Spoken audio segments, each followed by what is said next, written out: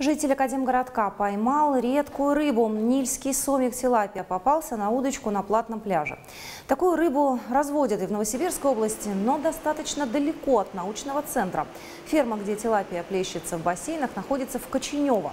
Там создан есть специальный микроклимат и постоянная циркуляция воды. В естественной среде такая рыба не сможет перезимовать, а вот летом, оказывается, нет ничего невозможного.